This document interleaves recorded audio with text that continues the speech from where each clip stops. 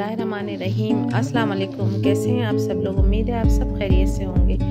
आज हम दही वाली चिकन बनाएँगे। बहुत मज़े की, बहुत ही कम ऑयल में बनती है। तो चलिए स्टार्ट करते हैं हम अपनी रेसिपी ये देखें। 10 से 12 मैंने साबुत लाल मिर्च, दो टेबल स्पून धनिया साबुत और एक टेबल स्पून मैंने ज़ीरा लिया है। इसको हम भून लेंगे और इसको रोस्ट करने के बाद हम इसको ग्राइंड कर लेंगे। बहुत आसान बनती है, बहुत ही कम ऑयल में बनती है। इसको आप ज़रूर ट्राई कीजिएगा। मेरे चैनल पे जो नए हैं सब्सक्राइब कर लें बेल आइकन को ज़रूर प्रेस करें, ताकि आने वाली वीडियो की अपडेट्स आप लोगों को मिल सके। देखिए, इसको अब हम बहुत बारीक ग्राइंडिंग करेंगे इसको हम। थोड़ा सा मोटा दरदरा वाला जो होता है, वो हम ग्राइंड करेंगे इसको।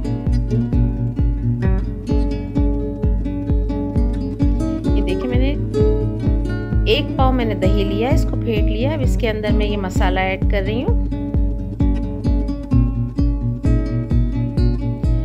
नमक ऐड कर रही हूँ मैं।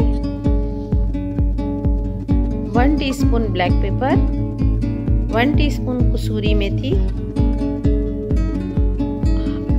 हाफ़ टी स्पून मैंने इसके अंदर हल्दी पाउडर ऐड किया है और हाफ़ लेमन स्क्वीज कर रही हूँ इसको। ये वन केजी चिकन की मैं बना रही हूँ।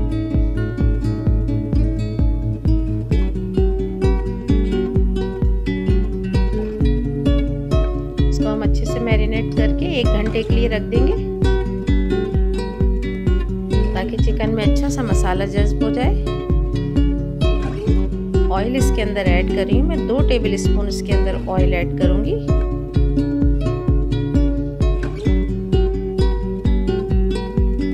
इसी में हम ऑयल डाल देंगे। इसके बाद हम इसके अंदर ऑयल बिल्कुल नहीं डालेंगे। देखिए चिकन इसमें डाल रही हूँ। उसको हम मैरिनेट करके रख देंगे।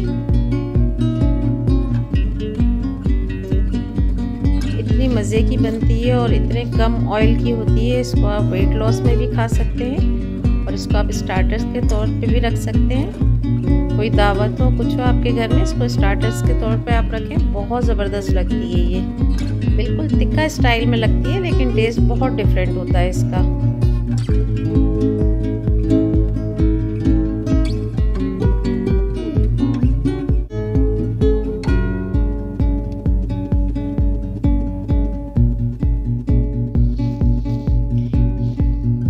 इसके अंदर एक टेबल स्पून अदरक लहसुन का पेस्ट इसमें ऐड कर रही हूँ मैं।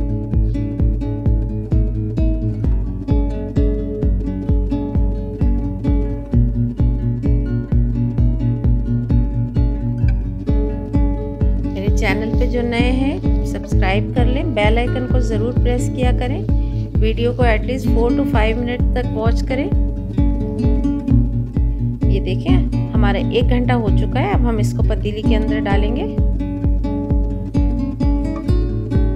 और इसको मैं हाई फ्लेम पे पकाऊँगी अभी, ताकि जो दही का जो पानी है, पानी छोड़ेगा, वो खुश्क हो जाए जल्दी से, वरना चिकन जल्दी हो जाती है तो फिर टूटने का ख़तरा होता है।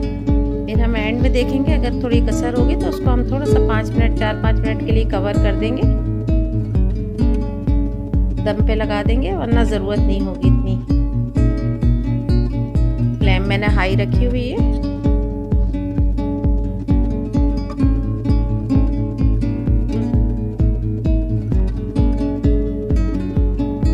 ये देखिए कितना सारा पानी छोड़ा है, इसको हम बस जल्दी जल्दी पानी खुश्क कर लेंगे।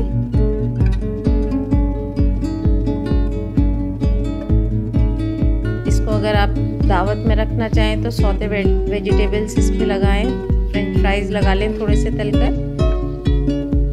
डिफरेंट लुक हो जाता है और बहुत अच्छा लगता है। टेस्ट में तो इतनी लाजवाब होती है कि आप खाएँगे तो आप खुद कहेंगे।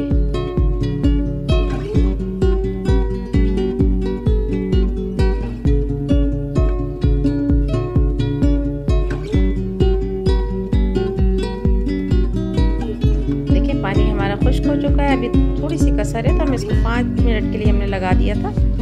चिकन हमारी बिल्कुल रेडी है। तो आप ज़रूर ट्राई कीजिएगा, बहुत पसंद आएगी आपको मेरे चैनल को, जिसने सब्सक्राइब नहीं किया सब्सक्राइब कर लें। बेल आइकन को ज़रूर प्रेस करें, ताकि आने वाली वीडियो की अपडेट्स आप लोगों को मिल सकें। इंस्टाग्राम टिकटॉक को भी फॉलो करें। मिलते हैं एक नई रेसिपी के साथ। टेक केयर अल्लाह हाफिज़।